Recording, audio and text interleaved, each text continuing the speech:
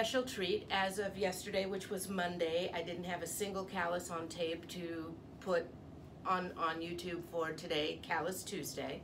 Uh, and I had three people come in who had calluses and they were kind enough to let me video while I trimmed them and I think that you'll enjoy this. The first patient, uh, it was very funny because he told me that he had family who thought feet were very gross and he actually had seen Dr. Nail Nipper and that was one of the reasons he came in to see me.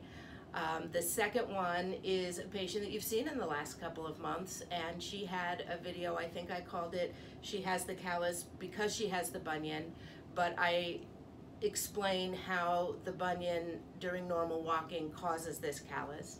And the third was just a very nice guy who let me video trimming some calluses that give him trouble when they get thick. So sit back, enjoy, and thank you for subscribing and being here with us. All right, well, I have to tell you, you're like only the second patient who's ever come in because you saw Dr. Nail Nipper, so that's awesome. And you can talk, this way. Um, so we'll just get this kind of, we'll just get this um, file or trimmed down for you and it should make it a little more comfortable. And again, you have this because of your flat foot. And every time you toe off, you kind of go swoosh right on that toe. And this gets rubbed between the ground and the bone underneath.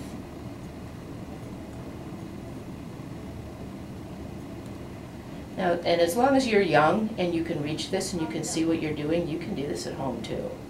But always make sure that you've got some like antibiotic ointment like Neosporin at home because you will eventually cut yourself.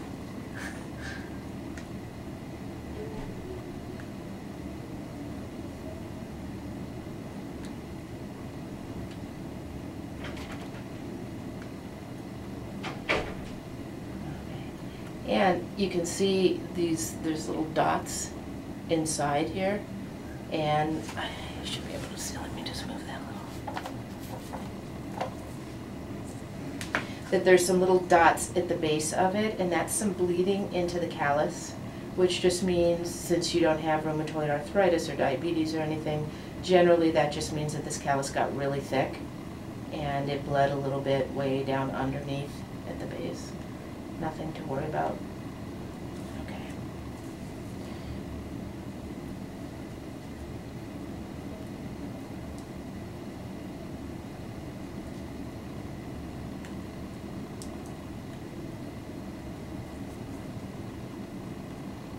So thank you for letting me video this for Callus Tuesday morning.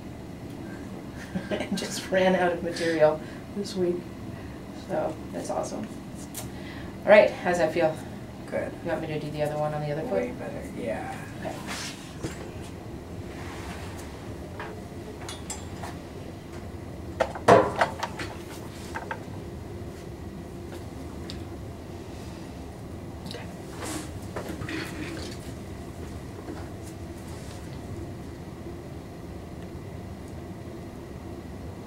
So your family's gonna get all grossed out by this? I think it's cool. Okay.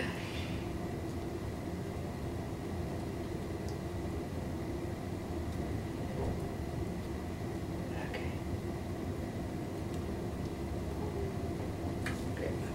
All right, well, thank you. And I want to show why that callus comes, just because of the shape your foot is in, Okay. okay? So. Does this hurt when you walk on it if it gets too thick? No. Okay.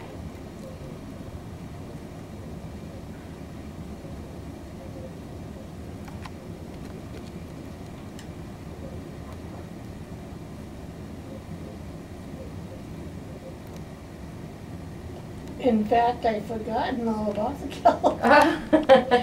oh, callus. Oh, yeah, that's right. Again, callus. Oh, yeah. Oh, yeah, that. I don't have something like that, do I? You do not. You have no calluses on your feet. Huh. I get callus because it's protecting, right? It's No. protect. Oh, that's, that's what I thought. Nah. I I mean, that sounds good, but the truth is, you get the callus because this spot just has too much pressure on it. Oh, oh really? And when the skin gets a lot of pressure, it gets thick. Okay. I get you.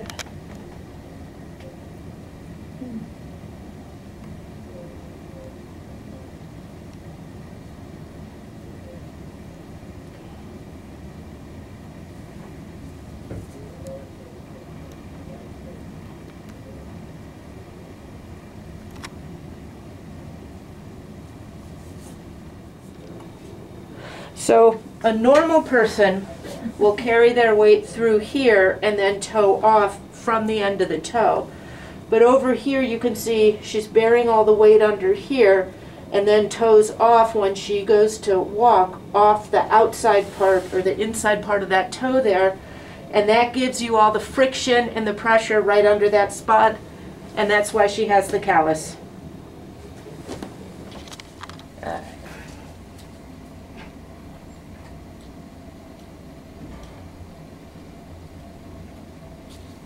So I guess that Uber thing at LAX was like a nightmare the first few days.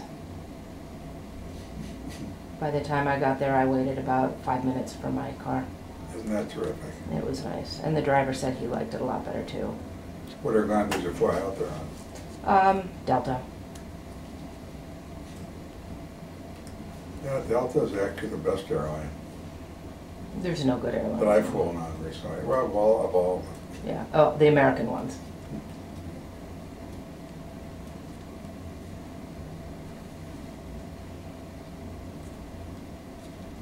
so things have been going good? Yeah, can't Busy? complain. Very busy. Yeah.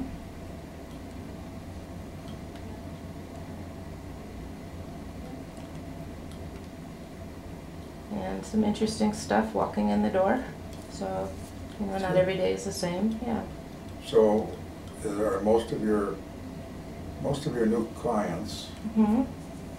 uh, Patients. patients, whatever you call them, Mm-hmm. are like, I bet like mine, that it was, the new ones come from existing ones. Mostly now, yes, Yeah. because all of the major health systems have hired their own, so their doctors are not allowed to refer here anymore. Really? Yeah.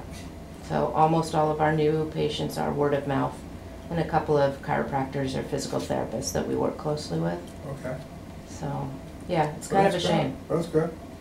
Well, yeah, except that, you know, twenty years of cultivating relationships with these primary care doctors, and then they all got bought up by the big systems, Yeah. and now they can't refer here anymore. Because they got their own. Mm-hmm. Anyway, we're, we're still busy, and it's Okay. good, so, all right, that should feel a lot better. Thank you for letting me video that.